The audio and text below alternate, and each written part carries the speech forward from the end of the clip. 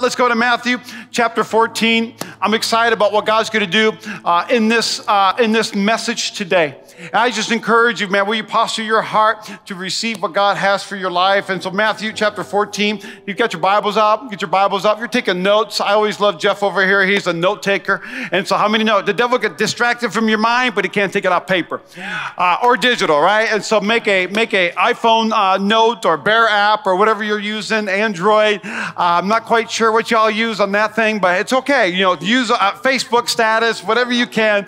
But Matthew chapter 14, immediately, Jesus made the disciples get into the boat and to go before him to the other side.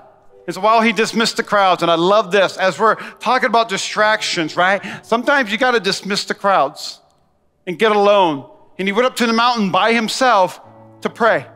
And when evening came, he was there alone without any tasers. I mean, we were here last week. But the boat, by this time, somebody's like, tasers? Yeah, this is how we are at Avenue Church, you know? But the boat, uh, uh, so when evening came, he was there alone. But the boat where the disciples were by this time was a long way from the land. It was beaten by the waves, for the wind was against them. You know, sometimes distractions can feel like that. Just beating you from every which side, and, and you, you, you dismiss those distractions, and guess what? You're distracted somewhere else.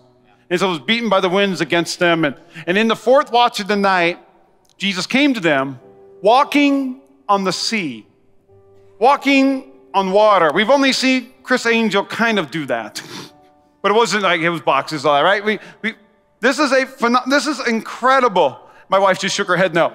But when the disciples saw him walking on the sea, they were terrified. They said, It's a ghost. It's not, what's going on here? and they cried out in fear. But immediately Jesus spoke to them, saying, Take heart, it is I, don't be afraid. But Peter answered him, and I love Peter, right? Like, like for me, honestly, that, I would have been good with that. Jesus is walking on water, like I've never seen that before. We've never seen that before. And all of a sudden he goes, Take heart, it is me, it's Jesus, don't be afraid, right? I'd be like, Oh, okay. Praise God. But this is what Peter says. Peter says, Lord, if it is you, I'm telling you, Peter represents the average Christian, right? Lord, is this you? Jesus is like, I'm walking on water, you know. But Jesus, if this is you, tell me to come to you on the water. You know, Peter made a lot of mistakes, but my goodness, he got to walk on water himself. And Lord, if it's you, command me to come to you on water. He said, Come. So Peter got out of the boat and he walked on water and he came to Jesus. He got out of the boat, he walked on water, and he came to Jesus. I want to paint this picture for you today. He, he got out of the boat, there's winds and waves and storms and distractions. But when he saw the wind, he was afraid. And beginning to sink, he cried out, Lord, save me. And immediately, Jesus reached out his hand. He took a hold of him, saying, Oh, you of little faith, why did you doubt? And when they got into the boat, the wind ceased. The wind ceased. I'm going to pray real quick, and I'm excited what God's going to do today. Man, I love celebrating our kids. I love that we are not only uh, multicultural, multi generational, but we honor every single generation uh, in this house today. And uh, I'm just excited what God's going to do. So let's pray. Dear Heavenly Father, God, we thank you. Thank you for this word, Father. I pray, uh, man, write it on the tablets of our hearts. That, Father, I pray today may we be forever changed. Father, I pray when we walk out of this place today, we walk out with your spirit. Father, we walk out with the fruits of the spirit, but also, Father, we walk out with some traction for our lives so that we can continue to know God, to find freedom, discover purpose, and make an eternal difference. In your name, I pray, and may the wind cease and keep it at 75 balmy degrees all summer long in Las Vegas, Nevada. And everybody shouted, Amen, amen and amen. All right. Let's get going here. Uh, John 10 10 is our, our, our main scripture, and it's the thief only comes to steal, to kill, and to distract. Say distract. All right, turn to your neighbor and say, Don't distract me. All right, don't distract me. Turn your other neighbor and say, Are you on Facebook or Instagram right now? All right. All right, and if you are, tag Jeremy at J E R E M Y B O S M A, please. All right. And so, uh, thief only comes to destroy and distract, but I have come, and this is Jesus Christ, King Jesus, said, I have come that they may have life and life abundantly. And our key phrase for this series is Your life is too valuable. Come on, church. Your calling is too great, and your God is too good for you to be distracted by things that do not matter. Right? But here's the thing about Peter. I really been hustled over this, going, okay, uh, Lord, I thought I was going to do Mary Martha. Why are we in Peter? Why are we, why are we hanging out here? And I really felt like the Holy Spirit spoke this to me as, as Peter was walking on the water. He saw the winds and the waves, but he was already doing something pretty miraculous. He was doing something pretty miraculous. I'm going to talk a little bit more about that, but I found out that distractions sink us every single day. Every single moment, distractions will sink us. And for some of you in this room, if you see this little space right here, you're distracted. Distractions. Distractions sink us every single day. We're having fun today. In Matthew chapter 14, Jesus said, Come. Peter got out of the boat. But when he saw the wind, he was afraid. Here's kind of what I want you to deal with. And I want you to sit in this, in the, in the context of this story. There's a storm, there's winds and waves. These fishermen are professionals. They've done this. It's in the middle of the night between 3 a.m. and 6 a.m. This is the, the best time for them to go out and cast their, their, their nets and catch fish. So storms are coming uh, their way. They've been in storms before, but there was something about this storm that caused the professionals to be afraid. And so as they're, uh, Peter says, come, Peter got out of the boat. When they walked on the water, they came to Jesus. But when he saw the wind, he was afraid and he began to sink. Here's what's interesting to me. Jesus didn't say, calm the storm and then come walk on on the water. Jesus said, it's stormy and it's distracting, but I need you to come out on the water anyways. Jesus didn't say, well, let me make perfect conditions for you to take a step of faith. And so here's what it is. Distractions will always exist, but managing them is our responsibility. Distractions, there will always be storms of life, but we have to understand how do I manage my distractions? And this is what we learned last week. We learned you can't call something a distraction unless you know what it's distracting you from. So the winds of the waves was distracting Peter from sinking and drowning and dying. So he had a he, he had he had the what? But I really want you to know for us here as a Christ follower, when we leave this room here today and we say, I love this series, this is wonderful, but Pastor Jeremy, I don't want this just to be another sermon series I hear and it goes in my ears and outside, the, uh, you know, out the other ear. I want this to be a core value in my life. You can't call something a distraction unless you know what is distracting you from. So, what is the what? And I want you to know the what is the value. The what is the value. So I want to ask you today, not what, what, what's distracting you? That's what we asked last week. I want to ask you today, what do you value? What do you value? Value, values are a compass in our life. Values really determine our actions and, and, why we do what we do, why we say what we say, why we think what we think, because of values. And here's what a value is, right? Value is how we want to be. Uh, uh, values are what we want to stand for. Values are how we want to relate to the world around us. These are my values. Raise your hand in this room if you got values. Raise your hand in this room if you got values. If you don't have values, you're lying, all right? Because every single person has values. Some of your value, like if someone dragged you here, then church really isn't a value. Your value is, I'd rather do this out there something else. We all have values. We all have a system. I've heard people say, I don't have systems in my life. Yo, you wake up somehow, you brush your teeth somehow, you put food in your body somehow. Guess what? That's your system. So we all have values. Ooh, see that thunder? The winds and the waves. so instead of asking, what are you? I have ADHD, so buckle up. The question is, what do you value? But really, if values is how we want to be, my question is, who do you want to be? Who do you want to be? And this is so interesting. I begin to study distractions, begin to find out distractions are tied in with your values. I'm distracted. Well, what are you distracted from? Well, I'm distracted from this. Well, is that a value in your life? Is it really, is it distraction? Is it attraction? Is it pulling you away from your values or is it pulling you towards your values? And here's an interesting emotionally, uh, uh, emotionally healthy spirituality.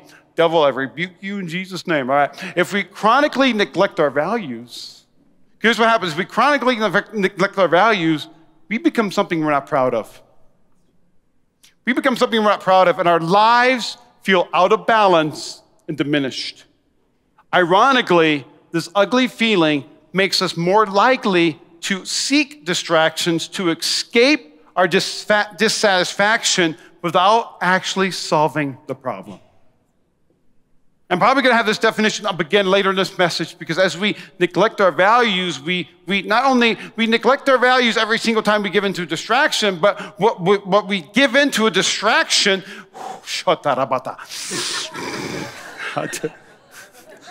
we give into, I'm spirit filled, it's 2022, amen? But when we give in to a distraction, right, we neglect our values. But when we neglect our values, we offer distractions to avoid the problem that we currently have. Amen? So, tractions and distractions, ah, tractions, Emma, go ahead. Tractions and distractions always begin with a trigger. Always begin with a trigger. Distractions always begin with a trigger. And a trigger, we're moving, huh? And a trigger is anything. Online audience, it is so much more fun in the house, I promise. A trigger is anything that moves you. And we're, we're bombarded with triggers every single day. There's internal triggers, external triggers, but we're triggered.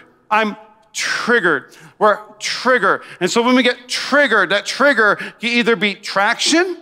It get, I'm, I'm tri- you know, I see something, I go, yes, I set that out so I don't forget. How many do that every single day, right? Or you go, you know what? I, I, saw something, like I just wanted to, I wanted to look, I wanted to Google something to understand how this works. And then Google sends me something else. And next thing you know, you're spending five hours learning if, if Bigfoot's real on YouTube. And there's many triggers that move us towards tractions or distractions. And it's just the way we're built. For example, if I were to say right now, uh, church, um, do not, in Jesus' name, do not think about a polar bear. Do not think about a white polar bear all right, walking along the river, uh, uh maybe uh, uh no, don't think about a polar bear, uh, you know, uh, hunting for food, or just walking amongst us. All. Do not think about a white polar bear. Stop it in Jesus' name. Do not think. How many are thinking about a white polar bear? Right? How many are thinking about white? Polar? How many are not thinking about a white polar bear? Wow. Okay. So those are many. Those are perhaps internal triggers that take place. And I've seen internal triggers take place by our self talk, by what we think about. I'm currently thinking about this. A lot of times, those triggers, uh, man, I've seen it in church settings. I've seen it in, in my own life in devotion time or, or time with Jesus. And those internal triggers distract me away from the things of God as I begin to focus on the winds and the waves. Instead of looking to Jesus, the author and perfecter of my faith, I spend too much time trying not to think about the things that bring me down, things that condemn me, things that say, oh man, my regret or my guilt or my sin or, oh man, that time I screwed up or, oh, this and that. And there's two greatest thieves in our life. The thief comes to steal, kill, and destroy. A thief can be the, the thief himself, the enemy, the devourer, the principalities in darkness, but also the thief can be us. That we're our biggest critic. And so that's an internal trigger. Do not think about a polar bear. But from here on out, I'm not going to be thinking about a polar bear. I'm not going to, I'm not going to say it again. I'm not going to be talking about polar bears again because there's internal triggers, but there's also external triggers. So I'm not going to be talking about Dickett. We're going to move on from, from, from, from that animal and we're going to talk about something else. And what happens is there's triggers in your life that cause your mind to be distracted. And so, with that, triggers are really cues. And with cues, I, we will always have cues and triggers and distractions, but managing them is our responsibility. And so, with that, we have to have rules for cues. Because values actually creates rules. So my first question is, what do you value? And begin to identify what you value. And if you identify what you value, then you now have rules for your triggers. Because if you value nothing, then you're going to accept everything. If you don't have a clear direction for your life, then you're going to accept every distraction that comes your way. And I'm here to tell you, your life is way too valuable. And your calling is way too great. Your God is too good for you to be distracted by things that do not matter. And here's a uh, we have to have rules for cues, right? Values creates rules. We, we, we know what is allowed and what isn't. I know what's allowed, what is it? When I'm writing a sermon, I know I put my phone on do not disturb. I put, I, you know, I turn off, uh, you know, I make my computer screen wide, and I say I, I don't welcome anything that's a distraction, but if there's traction, I'm, I'm, I allow it in my life. There are things in my life that I have rules for, but I want you to know a rule. A lot of times we, we, we think about the Christian life, and I say, you know, the, Bible, the church is just a bunch of rules and regulations. I read God's word, it's just a bunch of don't do this and don't have fun. How many think the, uh, the local church should be the funnest place to be? That's what I think. But rules, according, uh, rules, the, the main word for, the, the root word for rules is actually trellis.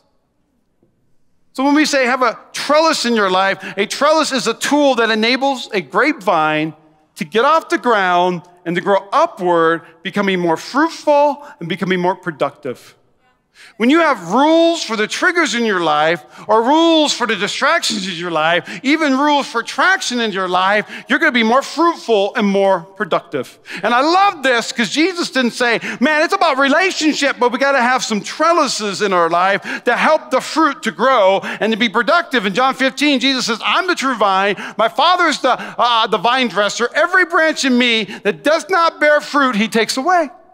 So Jesus is literally going, I'm cutting it off. And every branch that does bear fruit, he prunes, he improves, he puts it in the trellis. And that may bear, that may bear more fruit. So if I were to end the sermon here and go, you need values, and you write down your values, I want you to write down what do you value in this life? What do you value?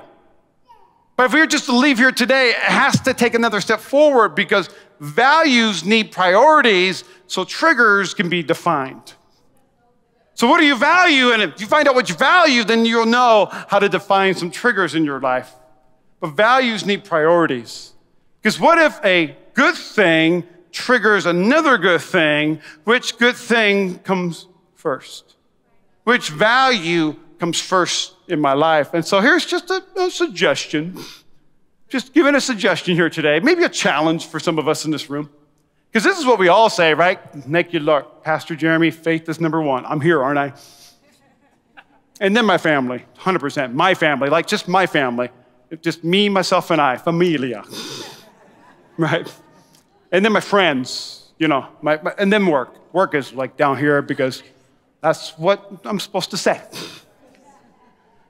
But for some of us, we go, well, you, you, you know, I, I, I, value my family and, and I want them to, to have what I didn't have and, and I didn't have money and things like that. And, and I'm not saying, I'm, you know, live in your mom's basement and don't make a difference in this world. But what I'm saying is sometimes we, you like that? And, but sometimes we, we put work way up here because we think we're, we're, we're, we think value, the value of family is actually higher than work, but really work is higher than the value of family. I had to learn a long time ago that, yeah, I'm gonna, I'm gonna hustle, even as a pastor, church planting, man, I'm gonna hustle. And, and as I hustle, things can increase. And as, as things increase, I'll actually have more time. Did you know you're gonna have less time? And so, you know what? My faith comes first. My relationship with Jesus comes first, then my family. And this is a watch sitcom series, so you know inside a family what you need to value. Because faith always comes first then family, then friends, and then work. So I'm going to go really quick in this portion, all right? Really quick. So take notes. If you take notes, watch the rebroadcast as well. Matter of fact, I'm going to talk to future you. Future you, thank you so much for rewatching this broadcast on YouTube today. Now I want you to watch this. Oh, hey, okay, so here's some rules for cues. I want you to do three R's. I want you to remove, but you got to replace. I think sometimes in the Christian life, this is all we focus on just remove. Remove it, you know? But then we never replace it. And as we replace things, we got to rearrange some things. And every single time you remove something, replace something, or rearrange something, we have to ask is this serving my values or am I serving it? Is this serving my values or is this, am, I serving it? And so maybe it's the family value. And is this serving my family or am I serving whatever it is in my life?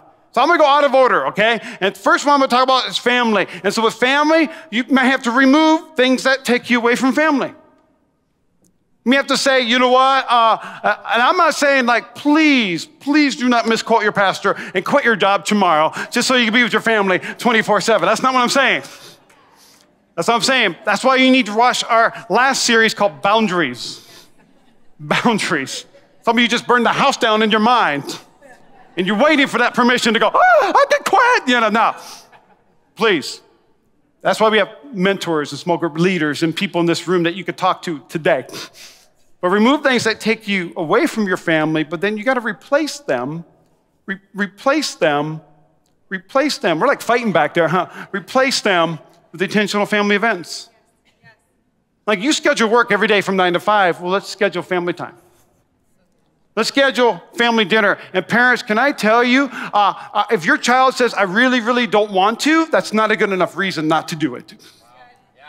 Or if they go, uh, uh, uh, I don't care. We have family dinner. Tonight's family dinner. You know what? We have family dinner Monday night, Tuesday night, Wednesday night, Thursday night. You know, it's whenever you can. But I say try at least to fam- to plan an intentional family event, no matter what. And there's a couple in our church. I love it. They got teenage kids, and then their families. They're like, "We're at Disneyland." Their teenagers are like, you know.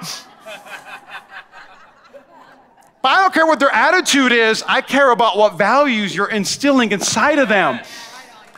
Woo!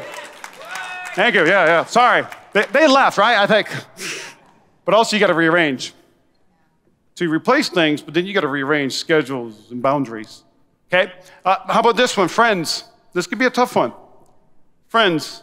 I'm going to get really spiritual on you. I'm going to show you uh, a Greek word. Uh, the Greek word is life sucking.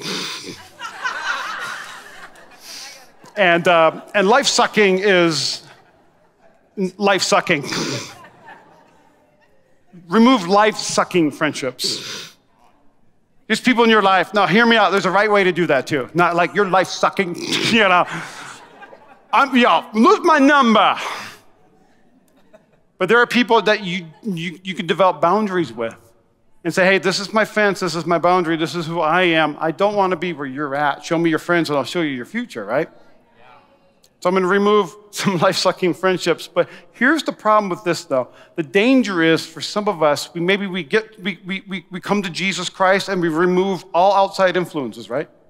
And there's a season for that. There's a season for you to dive into God's Word, get into a small group, serve at Avenue Church. There's seasons for those. But also, don't become so saved that you have no, no people around you that you can bring to church.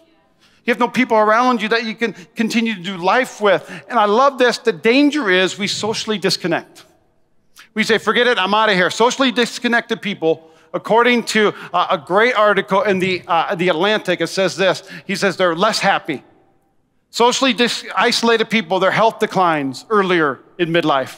Their brain functioning declines sooner, and they live shorter lives. Pastor Lindsay, I'm going to live forever. And he says this it is not just a number of friends you have. Listen to me. You can have lots of friends, but you can still be socially disconnected. You can be in a room full of people, and you can still be all by yourself. It's the quality of your close relationships that matter. And that's my prayer at Avenue Church. I want you to have quality friendships and relationships at Avenue Church. Not just surface ones, right? But here's what I want you to know you could still maintain all friendships, but some are deeper than others. Some are deeper than others. And so as I remove, and I'm talking about, are you saved or unsaved? That's not the ones we touch, all right? Those are the ones we have influence, we love, and minister to. But there's just some in your life that are life sucking. And I want you to know we replace with quality, life giving friendships with the same biblical values. Yes. Life giving, quality friendships with the same biblical values. But then you rearrange and schedule important relationships that are healthy that are healthy. You say, Yes, I'll hang out with you, but I can only hang out with you until this time. But yes, I can hang out. Yes, we can. We, yes, you are important and we have the same values. Yes, we can go on vacation together. Yes, we can do this and that. But I want you to know the most important element of gathering is its consistency. Don't get so wrapped up on the, on the how. I want you to get wrapped up in the why. Why? We're just spending time together. So there's, there's family, there's friends, but also there's faith, the faith value. And I want you to know if faith is a value, then it's a priority. It's a priority. Because before this slide, if we just said, you know, yeah, yeah, yeah, we're gonna, we're gonna have values, you could pick up lots of values that won't necessarily help you or your walk with Jesus Christ. We can pick up values and things, but I want you to have some biblical values. And can I tell you, my values, right? My values, my faith drives my values. It's not my values tells my faith what to do. My faith helps me to define my values in this life. And can I tell you, uh, no matter where you're at in the, in the, spiritual journey, my Bible, my word is the anchor to my soul, right? In the beginning was the word, word was God, the word, the word was God. The word helps me to define my values. And as I define my values, I have rules for cues, right? I have rules for triggers in my life. And as I have rules for triggers in my life, I say, God, it, it is not a bunch of do's and don'ts for me. It's God, I just want to be in your will. I want to be healthy. I want to be whole. I want to be holy. I want to, I want to hear your voice. I want to hear what God has for my life. And so many times we have to look at our values and say, is this value serving my faith or am I serving that value? Is this value serving my faith or am I serving it? And there's kind of three areas we talk about faith. It's time, treasure, talent. Time, treasure, talent. And I can go so much into time. Time is, yeah, it's, it's, it's being in church. Time is in my word every single day. Uh, time is praying to God, even though I don't know how to pray to God. I'm just going to have a conversation with God. Time is, I'm going to give my time to someone else in the church. I'm going to take someone else to, to lunch in this church. You know, get to know people in this church, a small group, uh, uh, serving, connect one day, uh, uh, all these different areas. But also my treasure. Treasure is, man, treasure is your, is your money and time is also your your treasure, time and money. And you know what? My value is when I receive a paycheck, I give 10% to the local church. I give 10% back to God. I give over and above and beyond. Why? Because it's my treasure and my talent. I, I, I, I believe God gave us gifts and abilities for Him. For Him. And so, what do I do with every single value? Jesus comes first. Jesus comes first in all of these areas and all my time and all my treasure and all my talent. And here's what Matthew 14 says Jesus said to Peter, Come. And Peter got out of the boat, walked on water. But when he saw the winds of the waves, he was afraid. And then Jesus, he comes to him, right? Immediately, Jesus reached out his hand. And, and for me, I have a parent moment sometimes, like, I told you, you know, like, I told you, let, let him sink a little bit more. But no, just Jesus immediately reached out his hand took a hold of him, saying to him, Oh, you of little faith, why did you doubt? There's two things that will happen. Because for many of us in this room, maybe the Holy Spirit is, is convicting you, or what we say, maybe challenging you. And you go, Man, my priorities are out of whack. I'm here to, to tell you today we serve a God of grace and mercy right? And we're married to people that have grace and mercy, and we parent people that have grace and mercy. I'm gonna help you change your mind about that right now in this moment. That they say, you know what, I don't wanna be stuck in this cycle. Let's rearrange our values. Let's have biblical values in our life. But there's two things that can happen that when you get out of the boat. There's two things that can happen as you take a risk. And the first one is we step out and we risk our faith, or we stay distracted and afraid we just stay in the boat. And there's many options for us just to stay in the boat. The boat's comfortable. Yes, there's distractions. Yes, I'm triggered, but at least I'm in the boat. I want to live a life like Peter were. Man, my, my faith drives my values. And my values drives the triggers or the attractions or the distractions in my life. But can I encourage you today that when we take a big risk with our faith, Distractions seem the most ready to derail us.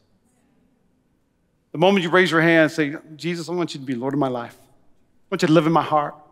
The moment you say, God, I, man, I, am ready to change my values. Maybe, maybe you're working too much. Maybe, maybe you're not reading your word or praying. Man, maybe, maybe you need to be in church every Sunday, or you know, maybe, maybe you're at church once a month, and say, hey, let's do every other. You know, maybe there's some values. You know, uh, maybe you're not giving or tithing, and you want God to open up the windows of heaven and pour out a blessing over your life. For God loves a cheerful giver. Whatever it is that the Holy Spirit is telling you today, the moment you walk out of this room, distractions off. They feel like they're ready. They feel like they go, ah, and sometimes I, I believe that this, I, I shouldn't say this, right? But sometimes our kids can be a distraction. Things around us can be a distraction, but they seem the most ready to derail us. But here's what I want to touch on as, as our worship team because God, why don't you guys go ahead and come on up here? But it said, immediately Jesus reached out his hand. He took a hold of him, saying, Oh, you of little faith. Now, I've always read this, and God's going, Why'd you doubt? Why? Why? Pulled him up and looked at him and said, Oh, ye of little faith, why'd you doubt? But as I read the scripture again in a different context, you know what he's really saying? He's really saying, Why'd you let the storm distract you? Because my Bible says if I fix my eyes on Jesus, he's the author and the perfecter of my faith. Author and perfecter of, our, of my faith. And that faith can look different for every single person in this room today. Faith, when you took, when your step of faith is going to look a whole lot different than my step of faith. And can I tell you, that's awesome. That's incre- I think that's amazing because every single person in this room, we're all on a different uh, um, journey in the faith journey. But can I tell you that anytime we allow the storm to distract us, it's happened to the best of us. It's happened to all of us. It happens to your pastor. Sometimes I get so distracted by, by not missing God that I feel like I miss God. Ah, Jesus, you know, God's like, I'm right here. But when we allow the storm to distract us, some of us defer our celebrations and our happiness and joy because of a few bad turns that we've experienced in the past. That maybe you took a step of faith and whatever that journey looked like for you. And you said, Lord, help me, and He helped you. But man, you're stuck in that moment now. The enemy seeks to kill, to steal, and to destroy. But he comes to steal, to kill, and to distract. And what he loves to do is he loves to bring shame. And can I tell you, shame is the enemy of values. For many of us in this room, we say, Yes, I want, yes, I want, I want to have faith and I want to have godly biblical values and I want to do all this. And then shame comes in and you go, I, But I, I can't because of, and I won't because last time I did. Maybe it's anger. And because of them and because of this. And shame is the enemy of our values. And my friend Bob Goff, he's like the happiest person on this planet, all right? If you ever read his books, but he says shame keeps us behind walls that we have constructed to keep everybody out. You even for me, we spent a couple days with our team, with Kimberly Malloy. And she said, What's your, here's a whole paper of values, and we just check mark, you know. And Pastor Lindsay, she was like meticulous in her values. You know what I mean? I was like, yes, yes, yes, yes, yes, yes. All of them. I want all the values. You get a value, I get a value, everyone gets a value. But finally, after a lot of prayer, I said, you know what? Because values, they tend to change over seasons. I'm not saying the, the faith and family and friends and work values. Sometimes you have that personal value in your life. Or maybe in, in this room, it's faith. Faith needs to become a value. I value my faith. I value my relationship with Jesus Christ. When I go to work, they, they will know I'm a Christian. Not because of, not because I scream it out, not because I'm preaching the gospel, but by my, by my actions and by my life. And for me, I really had to pray, and God gave me the value of just, just confident, confidence. And I, I don't have self-esteem issues. I don't have none of those things, okay? Come on. When I look at look in the mirror, I say, You did make a masterpiece, Lord. Thank you, Jesus. I was fearfully and wonderfully made. Probably a little bit more fearfully. but for me, it was confidence. Confidence in being able to get out of the boat. Because for 20 some years, I've, I've, got out of the boat several times and, and began to immediately sink. And say, God, I thought it was you. I thought. And because of those moments, I let it stop my faith.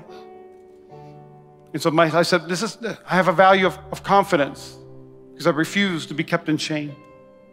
And emotionally healthy spirituality, if we chronically neglect our values, we become something we're not proud of, our lives feel out of balance.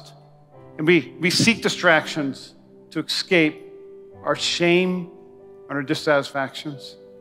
Here's what I want you to see today as I try to land this message today, and I want to, I want to pray for you today. I believe the Holy Spirit, Matthew chapter 14, verse 32, it said, And when Jesus and Peter got back to the boat, I was almost to say, then the wind ceased. I believe the Holy Spirit showed me that Peter walked on water, saw the distractions, began to sink, and then Jesus immediately reached out and grabbed him. Now, I don't think Jesus went like this and went, Oh, Peter. But I believe, I believe, this is my belief, I believe Jesus pulled him back out. Because my Bible says he doesn't drag us, my Bible says he pulls us. He pulls us out. And then they perhaps, theologians agree with me, all right? Perhaps they both walk back to the boat.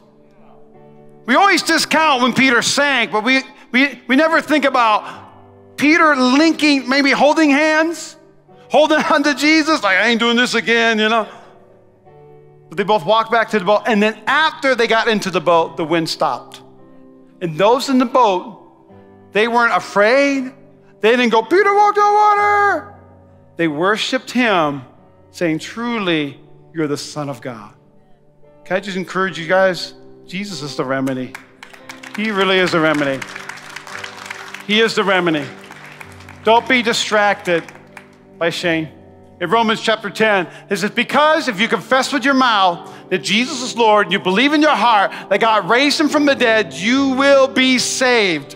For with the heart one believes and is justified, and with the mouth one confesses and is saved. For scripture says, Everyone who believes in him will not be put to shame will not be put to shame. Romans chapter 5. Not only that, but we rejoice in our suffering, knowing that suffering produces endurance, endurance, character, character produces hope, and hope does not put us to shame. Friends, I'm telling you, you can come to Jesus.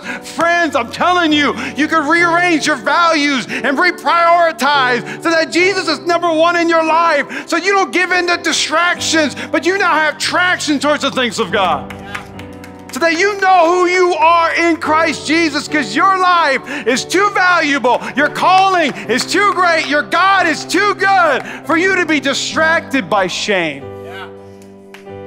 By shame. And so, will you stand with me, please? I'd love to pray with you today. And man, I just want to rebuke any distractions in your life that are keeping you from your faith value, that is keeping you from a relationship with Jesus Christ. So we bow our heads, close your eyes. Dear Heavenly Father, God, thank you. Father, thank you for what you're doing in this room today. The Father, in just a moment, I want us to, I want us to honor this distracted series. And Father, I want us to eliminate all distractions right now in this room.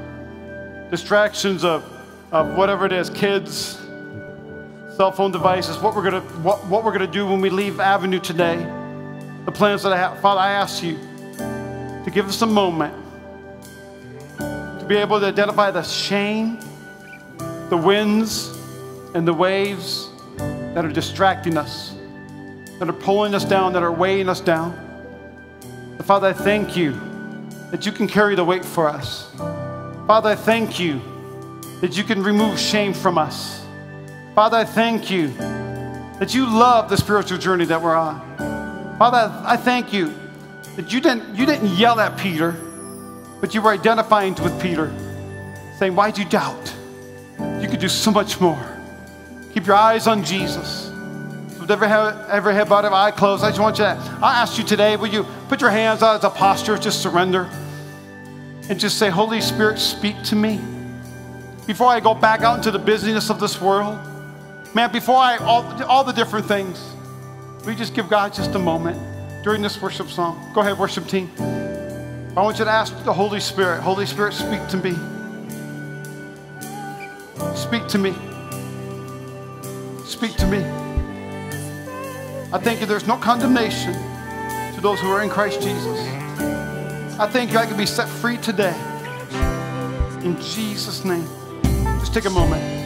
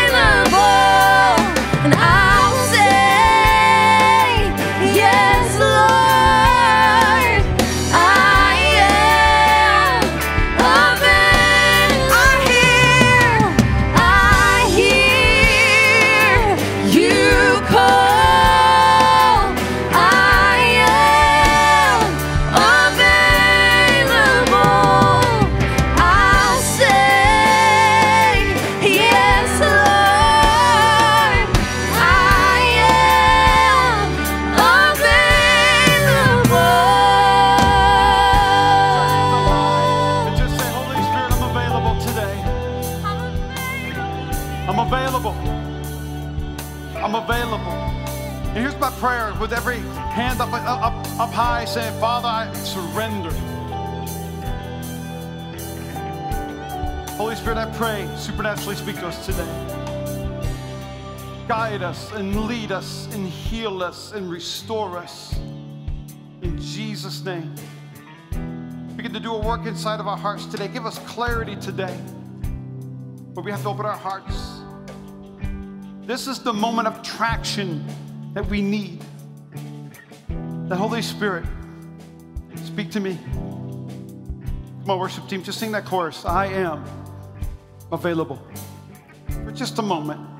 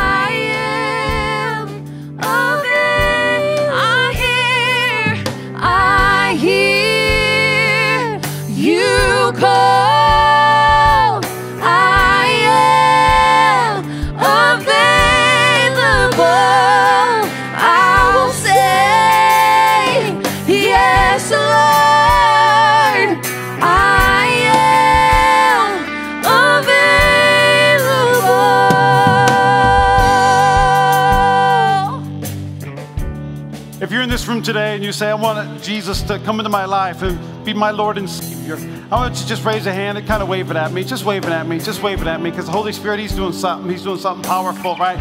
Just wave it at me. Just wave it at me and say, I want Jesus in my life. Come on, that's a lot of hands. And so I encourage you, I'm going to pray. We're going to have a host moment uh, come up, but I want you to, after the host moment, you can stay as long as you like, and our worship team will continue to play. And man, I just want you to enter in and to say, Jesus, guide me, lead me, save me, restore me. But I give you all shame, I give you all condemnation, regret. I give it all to you for God's praise and God's glory. So, everybody in this house, lift your voice, say, Dear Jesus, say, Thank you for dying on the cross. Say, Thank you for paying for what I did. So, Jesus, I repent of my sins. Say, be Lord of my life. Say, the best way I know how, I'm going to live for you. Say, I now know who I am. I'm saved, I'm redeemed, I'm a child of God. Come on, everybody, give God a shout today. Come on.